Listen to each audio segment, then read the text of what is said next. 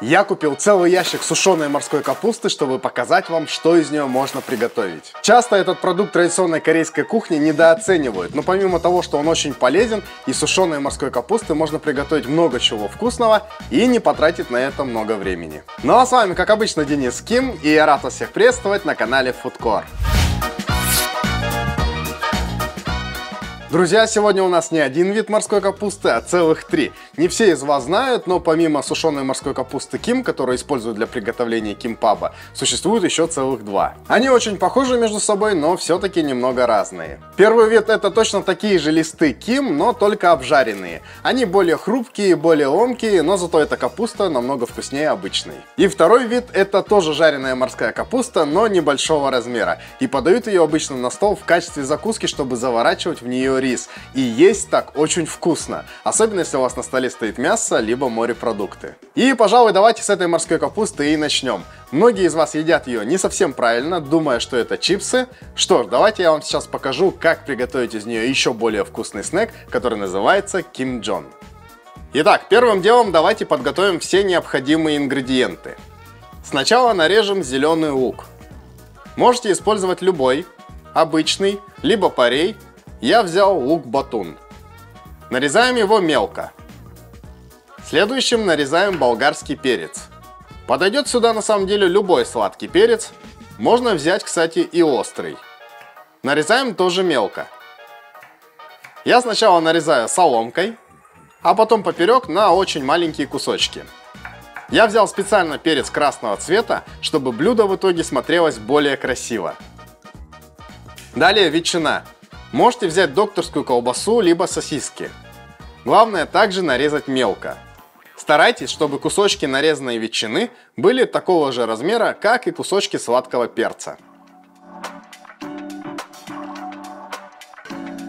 Следующим шагом нам надо взять глубокую миску, разбить внутрь 3 куриных яйца, добавить щепотку соли, а после хорошенько взбиваем до однородной массы.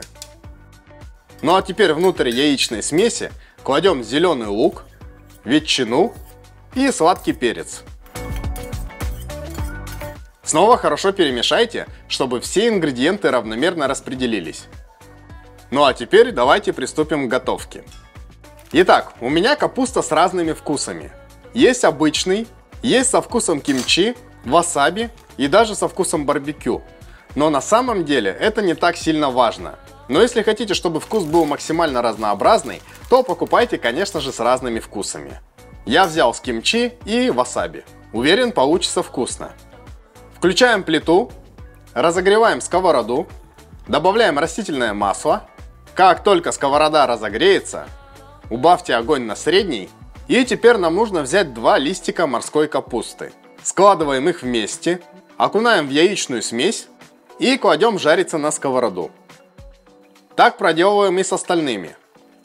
Теперь, чтобы у нас получились максимально вкусные джоны, нам надо взять ложку и полить листы капусты небольшим количеством яичной смеси с начинкой из ветчины, перца и зеленого лука.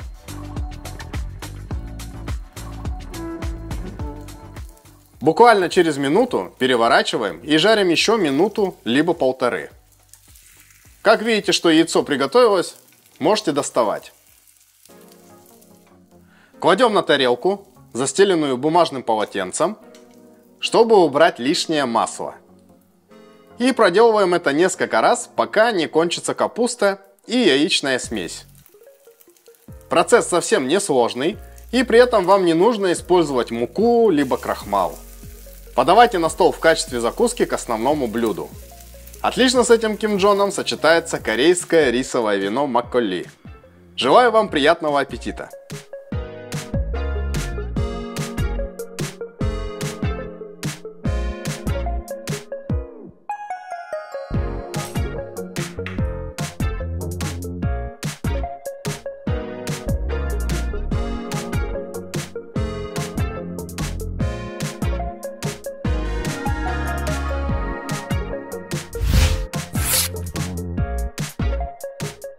Ну что, друзья, согласитесь, что рецепт очень простой. Готовится все очень быстро, а результат получается невероятным. Кстати говоря, в Корее эта закуска также популярна и среди детишек, поэтому можете угостить этим блюдом своих детей, а после поделитесь своими и их впечатлениями в комментариях под этим роликом.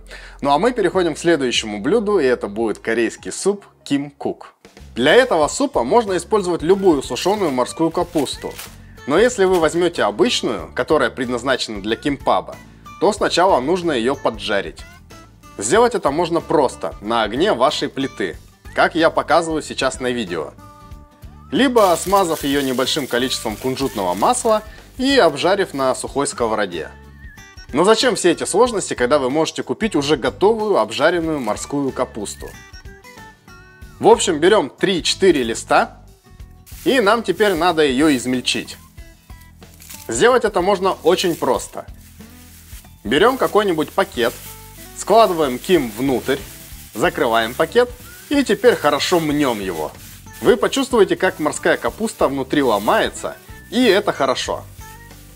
Нам нужно достичь такого результата. Еще нам понадобится яичная смесь. Берем два яйца, разбиваем их внутрь миски и хорошо взбиваем. Теперь ставим на плиту кастрюлю, либо сотейник. Вливаем 500-600 мл воды. Добавляем 1 столовую ложку рыбного соуса. И 2 столовые ложки соевого соуса. Также для нашего бульона нам понадобится 3 зубчика чеснока. Их надо немного раздавить, чтобы чеснок лучше отдал свой вкус. Ну и закинуть потом внутрь. Как только вода закипит, варим так 2 минуты. По желанию, кстати, можно еще добавить кунжутное масло. Но когда будете готовить в первый раз, я рекомендую сначала приготовить без него.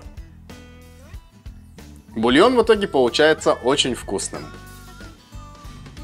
После нам нужно достать вареный чеснок. Теперь нам нужно по чуть-чуть влить яичную смесь. Старайтесь вливать тоненькой струйкой – Можете сразу помешивать.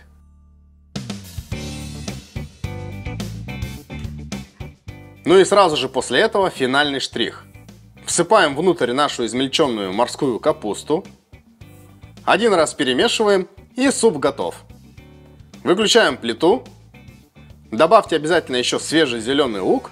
Посыпьте семенами жареного кунжута и подавайте на стол. Приятного вам аппетита!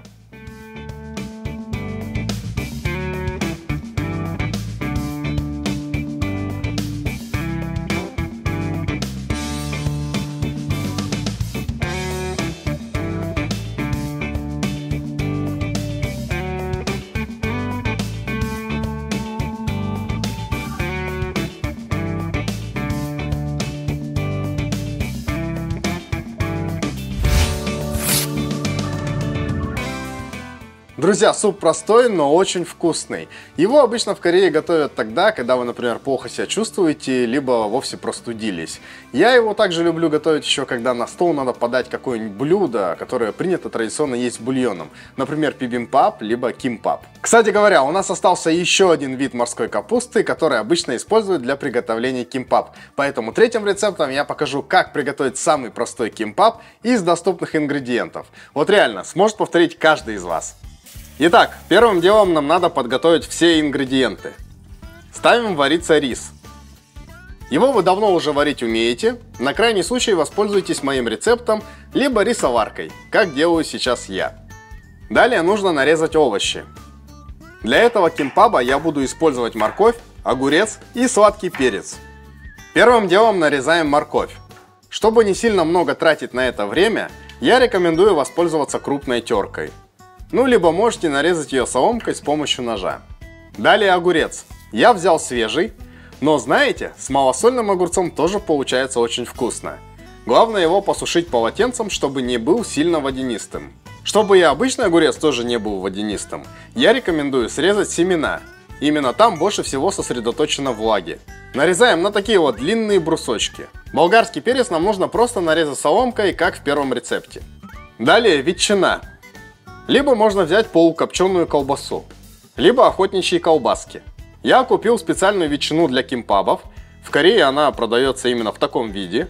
Но можете использовать и обычные колбасы. Нарезаем также на длинные брусочки. Еще я решил добавить крабовую палочку. Тут все просто.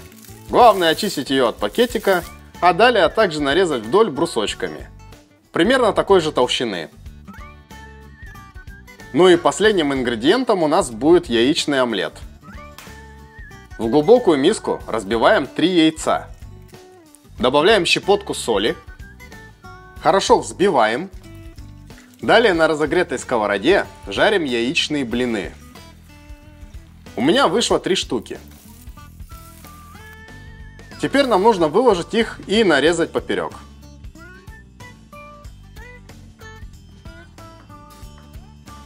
Получится такая вот соломка из омлета. Также обжарить нам нужно и морковь. Добавьте немного растительного масла на сковороду. И на умеренном огне обжарьте морковь буквально пару минут. Не забудьте немного ее подсолить. То же самое проделываем и с ветчиной, либо с колбасой.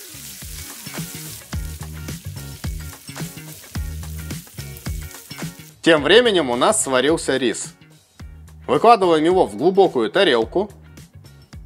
Добавляем пару щепоток соли, столовую ложку кунжутного масла и по желанию еще посыпаем семенами жареного кунжута. Хорошо перемешиваем и даем рису остыть. Очень важно, друзья, готовить кимпап уже с остывшим рисом. Иначе ваша морская капуста просто разбухнет и начнет рваться во время закручивания. Поэтому после того, как вы его сварили, заправьте и дайте постоять хотя бы минут 15. Ну все, наши ингредиенты для кимпаба готовы. Посмотрите, как красиво они выглядят. Самое время свернуть кимпап. Итак, берем лист морской капусты. Обратите внимание, что на ней есть полоски – Главное не сворачивать кимпап поперек этих полос. Они сделаны специально, чтобы вам было проще сворачивать. Еще важно класть лист шершавой стороной вверх, а гладкой вниз. Не перепутайте. Итак, берем кулак риса и кладем на лист. Теперь равномерно и тонким слоем распределяем рис так, чтобы он занимал примерно 3 четверти листа. Ну а далее кладем ингредиенты. Я положил два кусочка ветчины. Далее ровным слоем выложил морковь. Сверху положил нарезанный омлет, огурец, крабовую палочку. Я аккуратно выложил соломку болгарского перца. Теперь сворачиваем.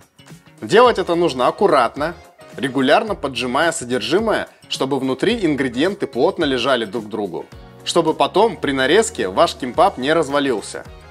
Если есть циновка для роллов, воспользуйтесь ею. Вот такая колбаса у нас получилась. Есть еще вариант, когда мы поверх риса кладем половинку листа морской капусты, и таким образом начинка у нас лежит более аккуратно и как бы отделена от риса. При таком способе шансы хорошо завернуть кимпап кратно увеличиваются. Проделываем так снова и снова пока не закончится рис. Если ингредиенты начинки останутся, то просто уберите их в контейнер и позже сверните еще пару кимпабов.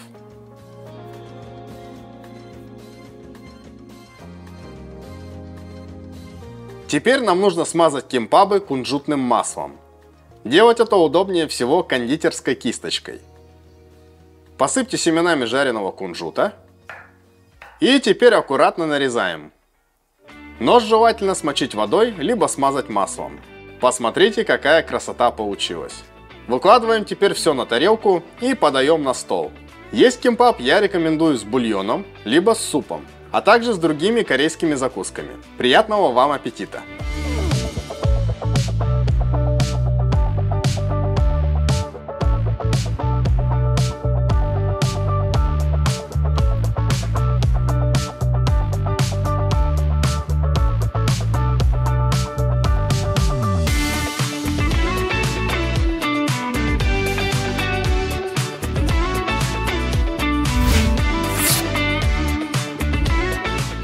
Друзья, теперь вы точно знаете, как воспользоваться морской капустой Ким правильно. Помимо того, как правильно ее есть, сегодня вы еще узнали, как приготовить три вкусных блюда из нее. На канале это уже второй подобный ролик. Если вдруг не смотрели первый, то обязательно гляньте. Там вас ждет тоже три вкусных рецепта. А именно Чумок Пап, Керан Мари и Ким Мучим. Обязательно поддержите это видео лайком, а также подпишитесь на канал, если еще этого не сделали. Ну и обязательно гляньте другие мои рецепты. На канале уже давно представлено огромное количество блюд традиционной корейской кухни. Но я напоминаю, что с вами, как обычно, был Денис Ким. Спасибо вам большое за просмотр.